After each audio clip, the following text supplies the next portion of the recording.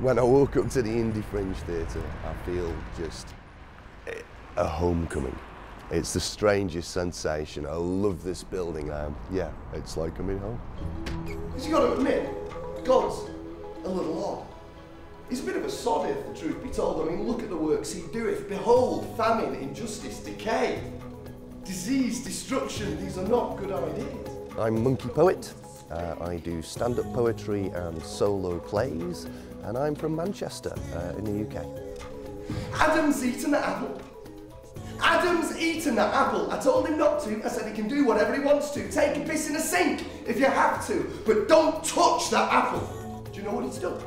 Someone described theatre as um, theatre is what happens when two uh, unique weather patterns hit each other, and that is what's on stage and the audience. The audience are unique every single night, and the performer is different every single night, and it's when those two meet that's the live art aspect of it. That's the thing that you don't know what's going to happen.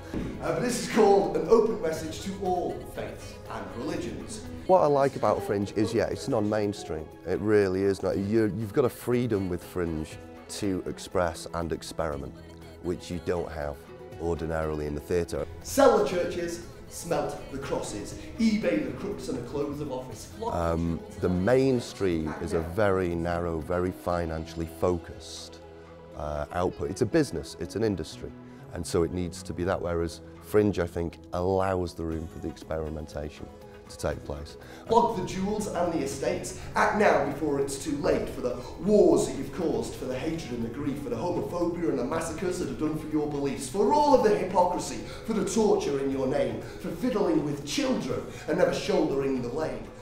What I found about Indianapolis was it was just the most friendly, welcoming place. Indianapolis was where I ticked two dream boxes. Uh, one, I had my first absolutely oversold smash hit show, which was just brilliant. My pure heart has been betrayed by my thingy.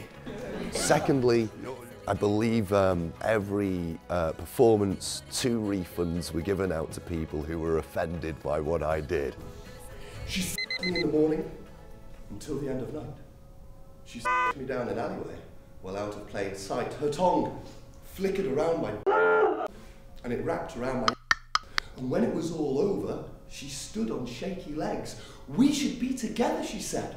You'd never have to. She wiped my on my lips and introduced herself as Frank. That's based on a true story.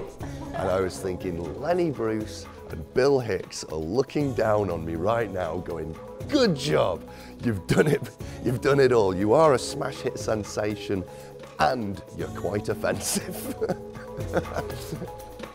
monkey poet, monkey poet, monkey poet. There are two answers to this and I'm going to give you one. Um, um, the, the, the answer is, I think quite close to here there's the Creationists Museum and that was opening up when I was coming here on tour. And I went, no man, we're all monkeys, and I just happened to do poetry. Monkey poet. Uh, that was it. As simple as that. Without Fringe, I wouldn't be here. It was Fringe that told me that this was a, viable thing to actually make a living from, that people were prepared to pay to see my poetry, which is an amazing thing in itself. Take this chance to wipe the slate clean of paedophilia, intolerance, and inquisition. And you know, when you die and you meet your makers, you might even be forgiven. You pay a little bit of money, you take a chance, you're not, you're not sure what you're going to see. Uh, it's either going to be brilliant or bad, and if it's bad, it's still going to be brilliantly bad.